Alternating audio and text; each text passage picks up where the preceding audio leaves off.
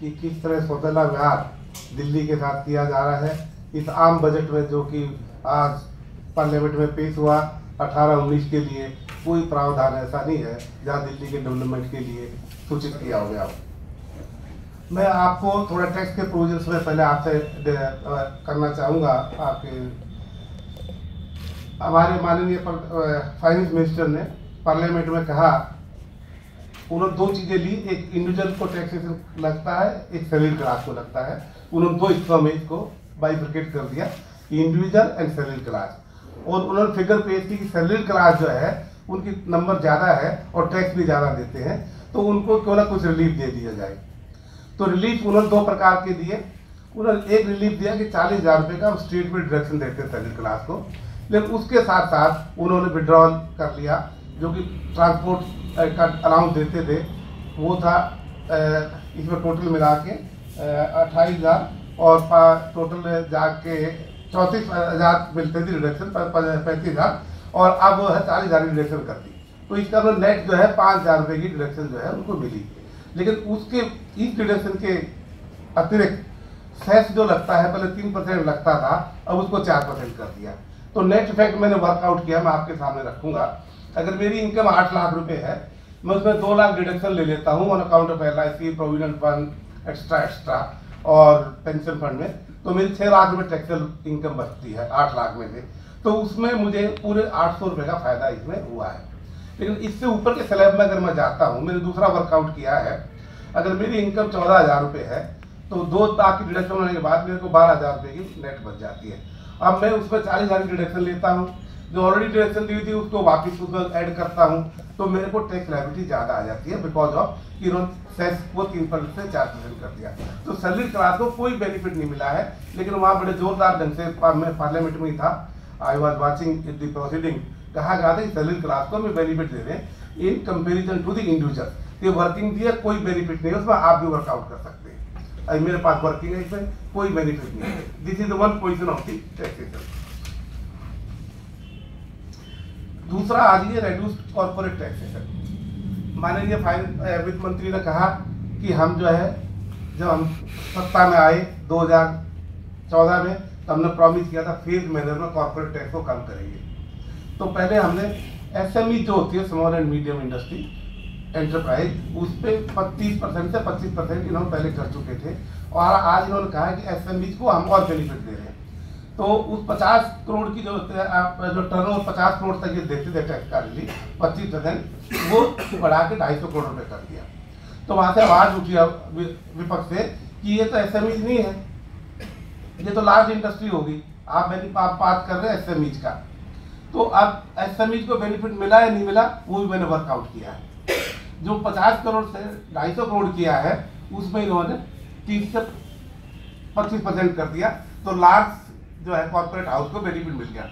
लेकिन जो एस थे, जिनको 50 करोड़ तक 25 परसेंट लगता था, उनकी टैक्स लाइबिलिटी बढ़ गई। क्यों बढ़ गई? कि सेस जो है उनपे तीन परसेंट से चार परसेंट कर दिया गया। तो एस को तो फिर टैक्स के बर्डन में ला दिया। और उधर जो है लार्ज कॉर्पोरेट हाउस को अब ये क्यों किया है? इसे लेकिन कोई बेनिफिट नहीं है। एस की तो टैक्स लाइबिलिटी और बढ़ गई है। इसमें ये, इसका टैक्सेशन का दो बेनिफिट जो है हमारे फाइनेंस ने रखे थे। एक आया लॉन्ग टर्म कैपिटल गेन से अगर मैं इक्विटी में इन्वेस्ट करता हूँ, जो लिस्टेड शेयर्स है, और उसमें कुछ नॉर्म उसमें क्राइटेरिया प्रिस्क्राइब किया हुआ है कि अगर ये कंडीशन हो, और मैं कोई इक्विटी में इन्वेस्ट करता हूँ, और एक साल के बाद बेचता हूँ तो उसमें जो लॉन्ग टर्म कैपिटल गेन है, वो एग्ज़ाम है। काफ़ी दिनों से आ रहा है। और उसका रीजन क्या था? जब एग्ज़ाम से शुरू उसका रीजन ये था कि जो स्मॉल सैलरी क्लास है मिडिल क्लास है पेंशनर है सीनियर सिटीजन हैं, उनके पास जो सेविंग होती है, वो क्योंकि आज जो अगर मैं कहीं और इन्वेस्ट करता हूँ बैंक रेट में इतना मुझे नहीं मिलता जितनी मेरी मनी डेप्रिसिएट होती है। हर साल 7.5 परसेंट रुपये की वैल्यू गिर जाती है। लेकिन अगर मैं बैंक में डिपॉजिट करवाऊँगा तो मुझे उससे भी कम जो है, मिलता है पैसा।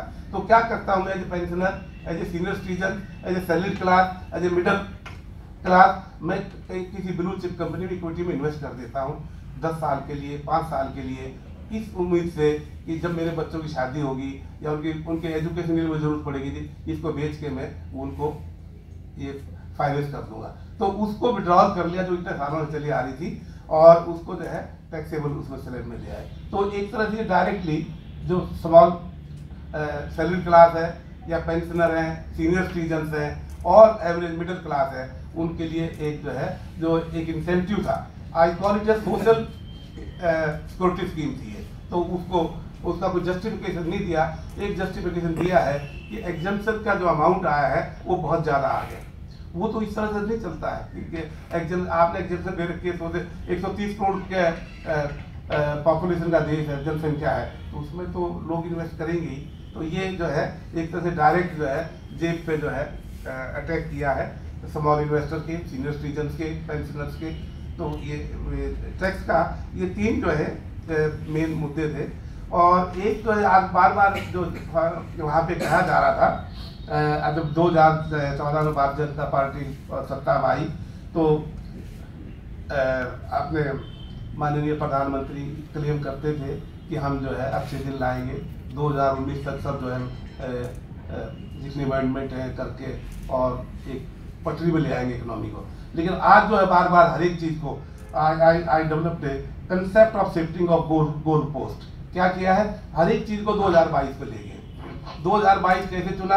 ये इनको ही पता होगा। जब 2019 का आपने 2014 में प्रॉमिस किया था तो तीन साल की बात के बढ़ा दी हर एक चीज़ को कहा, जितने भी प्रोजेक्शन है, जितने भी इन्होंने लगाई स्कीमें वो सब 2022 में कंप्लीट होगी। अब 2022 में जैसे पाँच साल में नहीं हुई तो 2022 में होंगी नहीं होगी। और कोई उसका रीजन नहीं दे रहे कि 2022 में क्यों कहा। सिर्फ़ एक उन्होंने कहा था कि 2022 में गांधी जी की हम जयंती मनाएँगे 150 साल की। तो इसलिए 2022 में। तो ये तो कोई कार्य नहीं हो सकता। अगर आज हम डेवलपमेंट करें, आज अपने प्रोजेक्ट को पूरा करें तो उसमें क्या बन जाए? तो ये शिफ्टिंग कर दी कर दी उन्नीस से 2022 में। तो 2014 19 से लेकर 2022 तीन साल का बढ़ा दिया। तीन स्कीमें ऐसी थी जो आम पार्टी ने लॉन्च करी। सबसे पहले मोहल्ला क्लिनिक। इसका मतलब जो है इवन अमेरिका जापान सब प्रशंसा करते हैं मोहल्ला क्लिनिक की और वो करते हैं अगर सीखना है हेल्थ हेल्थ केयर के लिए तो आम पार्टी जाके दिल्ली सीखी है तो उसकी कहीं न कहीं गवर्नमेंट ने कॉपी की है। उसमें क्या किया गवर्नमेंट ने? इसका मोहल्ला क्लिनिक का नाम हेल्थ सेंटर हेल्थ सेंटर और वेलनेस दे दिया है। सिर्फ़ नाम चेंज किया है और मोहल्ला क्लिनिक का।